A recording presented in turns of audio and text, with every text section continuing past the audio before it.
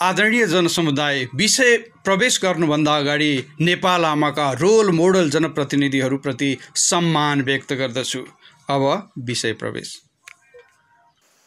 श्री चौकोट देवी मोक्ष देवी मन्दिर यो छैमले राम्चेबाट केही यता हाइटमा छ सात किलोमिटर यतापट्टि रहेको यो चौकोट देवी मोक्ष देवी मन्दिर। यहाँहरू पनि आएर दर्शन गर्न सक्नुहुनेछ आफ्नो मनोकामना पुरा गर्न सक्नुहुनेछ। नमस्कार म गङ्गा प्रसाद भेटवाल। आगामी मङ्सिर चार गते हुने सङ्घीय संसदको निर्वाचनमा काठमाडौँ क्षेत्र नम्बर दसबाट स्वतन्त्र उम्मेदवारी घोषणा गर्दै यहाँहरूको माझमा आइरहेको छु। आज म दस नम्बर क्षेत्र अन्तर्गत रहेको यो छैमले क्षेत्रमा छु। यहाँहरूले यो पछाडिको यो सारा दृश्य देखिराख्नु भएको छ। यो छैमले क्षेत्र हो पुरानो छैमले गाविस अहिले दक्षिणकाली नगरपालिका अन्तर्गत रहेको यो क्षेत्र हो। यो क्षेत्र दस नम्बर क्षेत्रभित्र रहेको छ। वास्तवमा यो यो क्षेत्रले विकासको नमुना देख्न सकिरहेको छैन। यो क्षेत्रलाई अर्ग्यानिक जोनको रूपमा विकास गर्न सके। यो क्षेत्रको आर्थिक उपार्जन हुने राम्रो सम्भावना देखिन्छ। सम्भावना मात्र होइन जीवन्त छ सकिन्छ यो सम्भावना। यहाँ अर्ग्यानिक यो ठाउँ यो प्रकृतिको सुन्दर छटा यहाँ रहेको छ। यहाँ गाउँ बस्तीहरू केही मात्रामा पातलो जस्तो देखिए पनि हावापानी अत्यन्त राम्रो छ।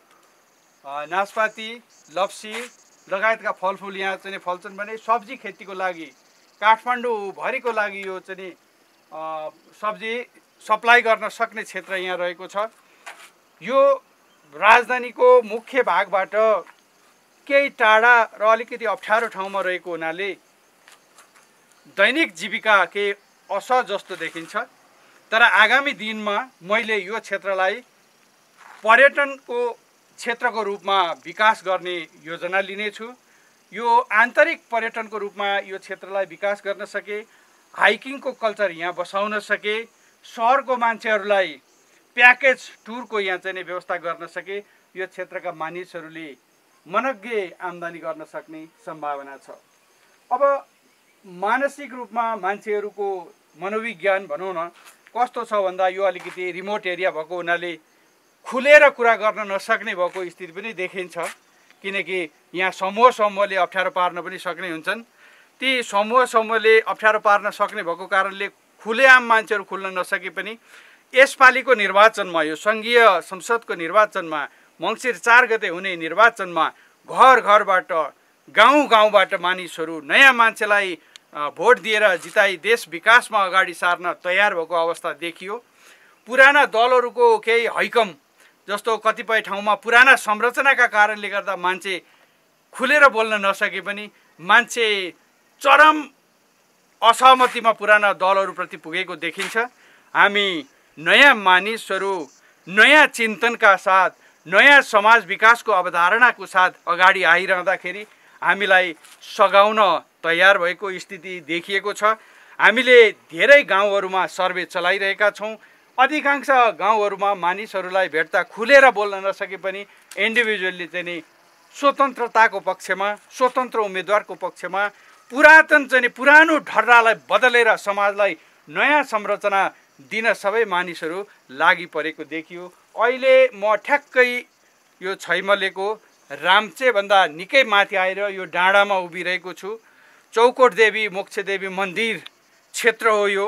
यो तपोभूमि यो पुण्यभूमि यो दस नम्बर क्षेत्र नै वास्तवमा तपोभूमिको रूपमा रहेको छ। अलि पर गएपछि दक्षिणकाली माताको मन्दिर त धेरै मानिसहरूले थाहा पाइसक्नु भएको थियो भने यो चौकोट चौकोट देवी मोक्ष देवीको मन्दिर अलिकति डाँडामा र बाटोको अलिकति असुविधा भएको हुनाले जोसुकै आउन चाहिँ गाह्रो छ।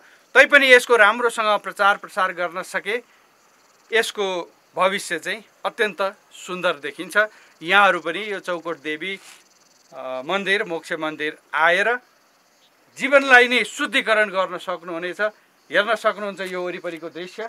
यो काठमाडौँ क्षेत्र नम्बर दस अन्तर्गत रहेको छैमले क्षेत्रको हेर्नुहोस् त कति सुन्दर छ यो। काठमाडौँमा यस्तो गाउँ पनि छन् जो काठमाडौँको यो क्षेत्रमा आउनु भएको छैन उहाँहरूलाई देखाइदिनुहोस् यो सबै गाउँ।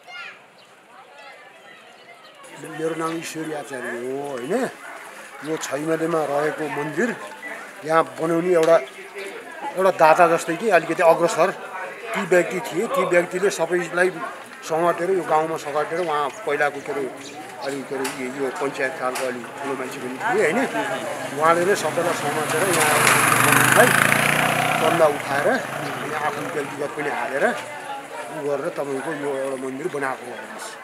यो दक्षिणकाली नगरपालिका वडा नम्बर आठ। दक्षिणकाली नगरपालिका वडा नम्बर आठमा बस्ने भीमप्रसाद आचार्यले बनाएको मन्दिर हो उहाँको अग्रसरतामा अग्रसरतामा सबैको पैसा सबैले पैसा हालेर सबैले उठाएर सबैले उ गरेर गाउँको माझमा खोइ राम्रो पनि भयो नि। अनि त्यो भएर यो मन्दिर बनाएर सबैले उ गरेर यहाँ अहिले सबै मान्छेलाई कति सुविधा भइरहेको छ। चार गाउँको मान्छे आउँछ यहाँ दर्शन गर्ने। कुन कुन गाउँको मान्छे आउँछ?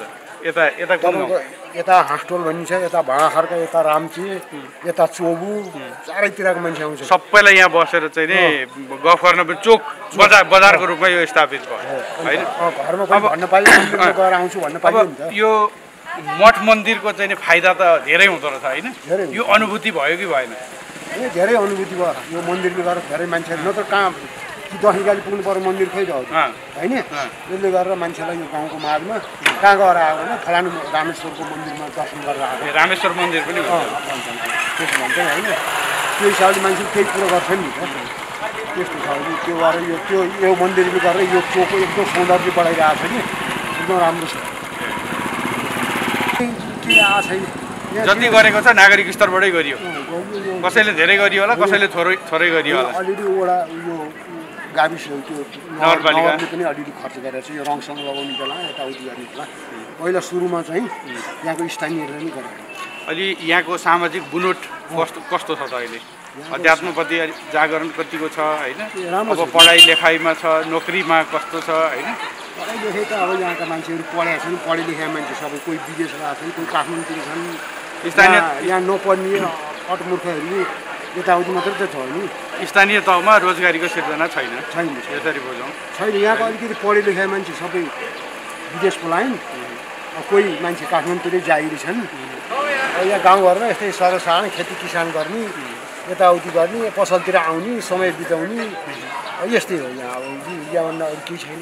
राज्य नगरपालिका लेभलबाट होइन माथि राज्यको माथिल्लो स्तरबाट यो मन्दिर मात्रै होइन यो समग्र क्षेत्रलाई चाहिँ कतिको अलिकति माया गरे जस्तो छैन बाहिरबाट काहीँ पनि छैन। त्यो यो के अरे नगरबाट चाहिँ अलिअलि सहयोग दिएर केही गरेको छ नत्र काहीँ केही पनि गरेको छैन तपाईँको यो नगरबाट चाहिँ दुई चारचोटि गरिसक्यो कि उसले अब यो वरिपरि स्थानीय निकायले हेऱ्यो केन्द्रले हेरेन। हेरेन। केन्द्रले त अब कहाँ यो बाटो त यस्तो छ तपाईँले यो मन्दिर लगाएर कहाँ गर्छ?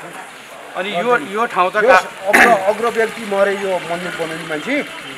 अनि त्यसै केही अग्र व्यक्तिले सबैजना मान्छेसितबाट चन्दा उठाएर आफूले अलिकति सहयोग गरी हालेर यो मन्दिर एउटा बनायो यो मन्दिर बनाएपछि अब उनी उहाँ मरिहाल्नु भयो तै पनि मान्छेले समर्थन गरेर राम्रै गरिरहेको छ मन्दिरप्रतिको अनुभव अनुभूति के के छ? अब मनमा लागेका कुरा होइन यसले आस्थाको केन्द्र जग्गाको अथवा आफ्नो सम्बन्ध। यो त अब सबैको सहयोगले बनाएको मन्दिर हो है। अब साथीभाइहरू सबै मिलेर सहयोग गरे हो। त्यही आधारमा हामी बनाएको यहाँ त पहिला पोखरी थियो एउटा। ए यहाँ पोखरी थियो पहिला? अँ, पोखरी थियो। अनि त्यही पोखरी मासेर अनि यहाँ मन्दिर बनाएको हो। मन्दिर बनाएको है। सबैको सहयोगबाट बनाएको हो। यो मन्दिर बनाइसकेपछि यहाँहरूलाई उपलब्धि के भयो? यहाँ उपलब्धि त अहिले त केही अलिअलि सहयोग त नगरले दिन्छु भनेको छ। अनि त्यो सहयोग मात्रै होइन कि सबै गाउँवासीलाई यहाँ जमघट हुने होइन केन्द्र यस्तो भयो नि त आस्थाको केन्द्र भइसकेपछि यो त गाउँवासी एउटा एक किसिमको बजारै जस्तो। बजारै जस्तो पहिला यहाँ पुजारीहरू पनि नियमित गर्ने गरेका थियो अहिले त्यस्तो छैन।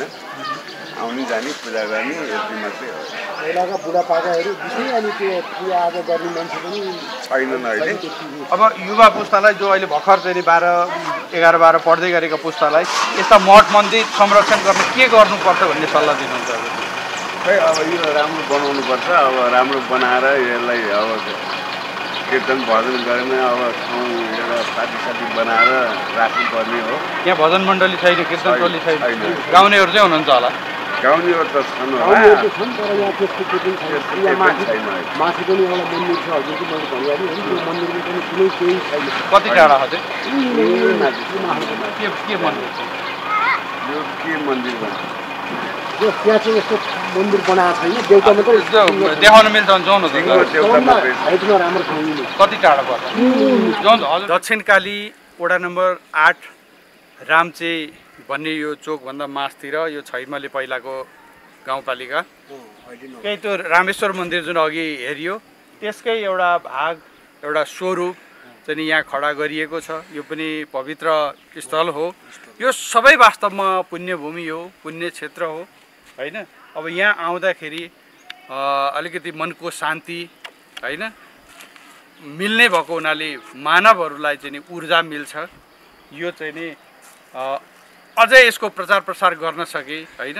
अझै धेरै मान्छेहरूलाई पनि यसले शान्ति दिने थियो फाइदा पुर्याउने थियो। यहाँहरू पनि अनुकूल हुन्छ भने यो रामचे बजारमा आउँदा छैमलेको रामचे बजारमा आउँदाखेरि यो क्षेत्र घुमेर प्रकृतिको रसास्वादन पनि गर्न सक्नुहुन्छ र केही शान्ति पनि प्राप्त गर्न सक्नुहुन्छ।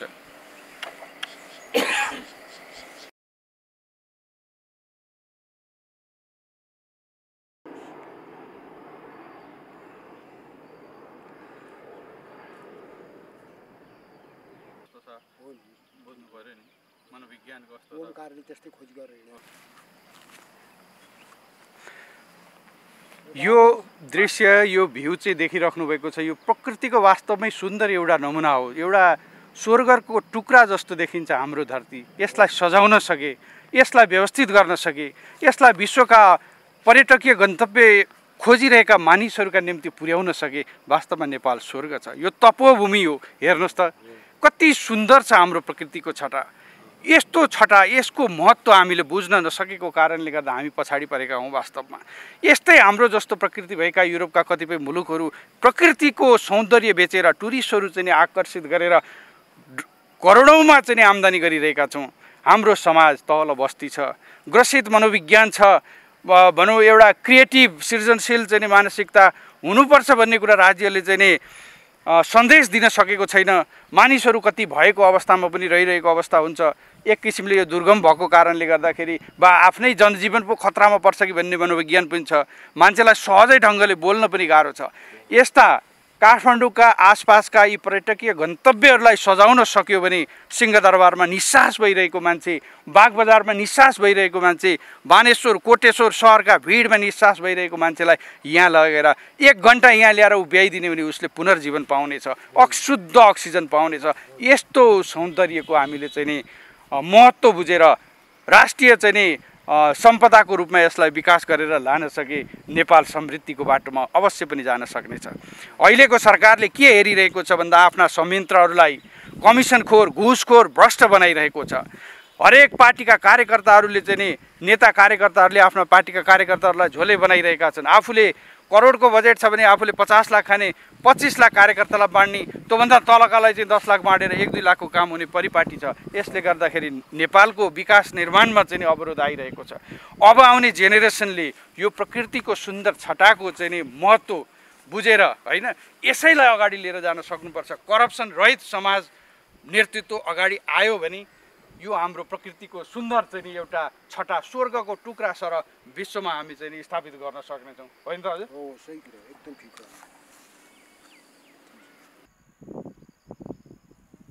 हामी छैमले गाउँका विभिन्न बस्तीहरू घुम्दै अहिले यो ठाउँमा आइपुगेका छौँ।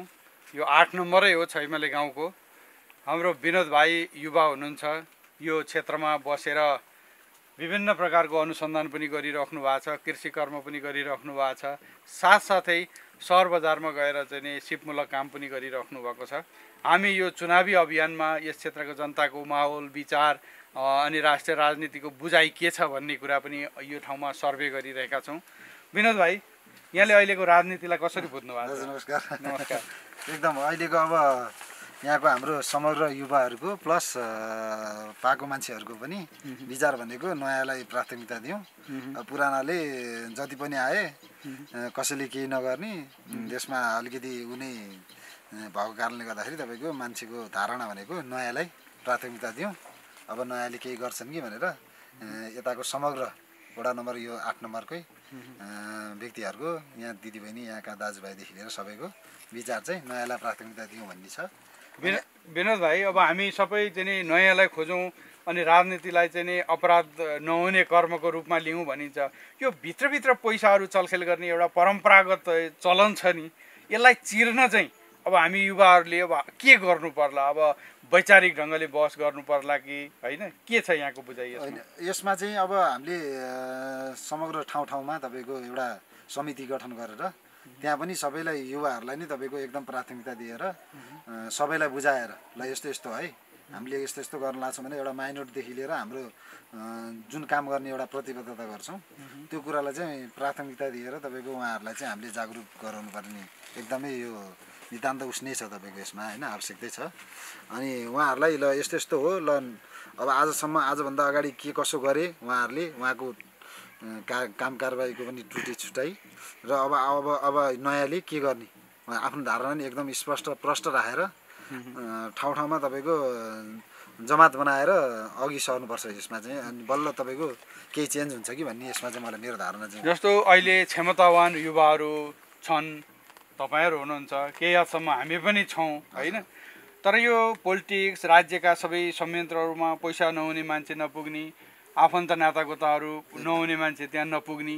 अनि आम जनताहरू जो यो ठाउँमा बस्नुहुन्छ त भनौँ तल्लो निकायमा होइन प्रशासनिक पहुँचभन्दा बाहिर उनीहरूलाई चाहिँ चुनावको बेला मात्रै प्रयोग गर्ने। होइन अनि। आफ्ना कार्यकर्ताहरूलाई चाहिँ नि अब आफू नेता भइसकेपछि पद पाइसकेपछि उनीहरूलाई पैसा दिएर पैसा आफू खाने अनि अलिअलि कार्यकर्तालाई खुवाउने अनि जनतालाई चाहिँ तिरस्कार गर्ने ओडामा जाँदाखेरि अथवा सम्बन्धित ठाउँमा जाँदाखेरि पनि नचिने जस्तो गर्ने। यो अब स्थितिको अन्त्य के होला के छ यहाँको बुझाइ? अब यो कुरामा चाहिँ एकदम यो समस्या भनेको अहिले होइन पहिलेदेखि नै चलिआएको सम- समस्या।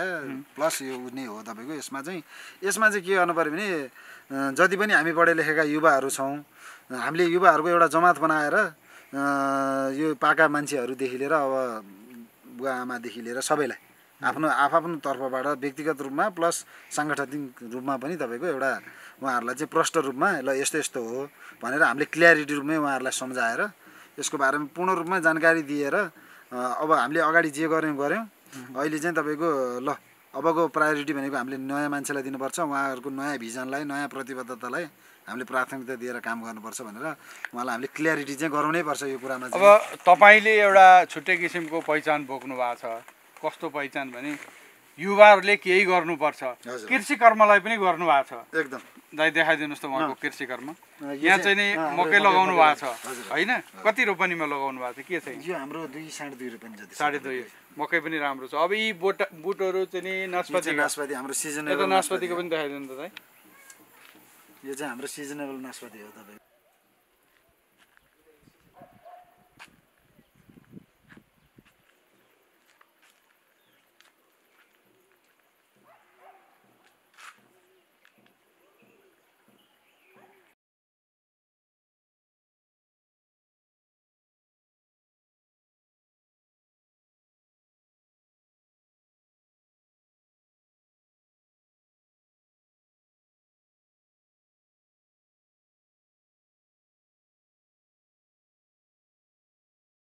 लागे त त्यो विकृति पनि अन्त्य हुन्थ्यो नि त। आश हुँदैन थियो। अन्त्य नै हुन्थ्यो तपाईँको। अब यो भयो के भन्दाखेरि यो पार्टीगत रूपमा केही तपाईँको अलिकति थोर बहुत पैसामा तपाईँको बिक्नेहरूले तपाईँको एउटा विकृति नै लिएर आएको छ यसमा चाहिँ तपाईँको होइन? अब यो यो छैमले अथवा यो बेल्ट जति छ नि हजुर।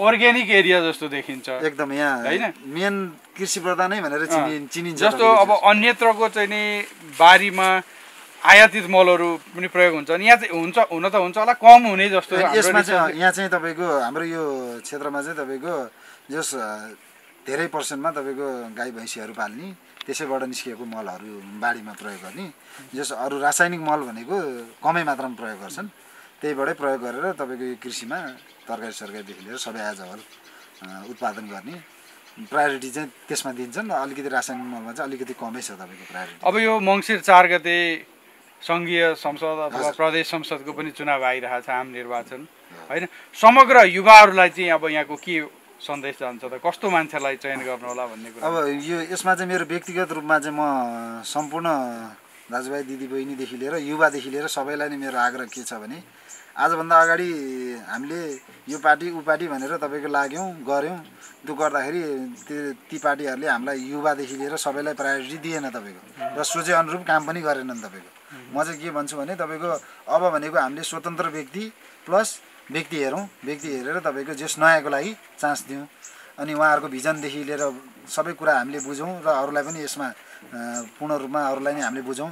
हामी युवाहरूले नै एउटा गठन गरेर तपाईँको समूह गठन गरेर हुन्छ चाहे तपाईँको व्यक्तिगत रूपमा हुन्छ सबैलाई हामीले समेटेर त्यसमा चाहिँ एकदम जागरुक भएर इन्डिभिजुअल भए पनि सबै जाग्नु पर्यो। जाग्नु पऱ्यो तपाईँको सबैलाई सम्झाउन नि पऱ्यो ल यस्तो यस्तो छ है भनेर क्लियरिटी रूपमा हामीले स्वतन्त्र रूपमा भिजन चाहिँ हामीले राखेर ल यसो गर्नुपर्छ है भनेर सबैलाई म चाहिँ यो एकदम आग्रह नै दिन्छु।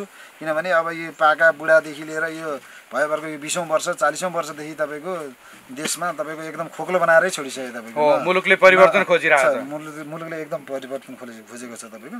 त्यसमा चाहिँ एकदम प्रायोरिटी चाहिँ हामीले स्वतन्त्र नयाँलाई दिनुपर्छ तपाईँको। मेरो चाहिँ एकदम व्यक्तिगत रूपमै सबैलाई आग्रह गर्छु म यो कुरामा चाहिँ। धन्यवाद विनोद भाइ। अब लु घरतिर पनि जाउँ नि त यसो पानी सानी खाउँ। ए ल हस्।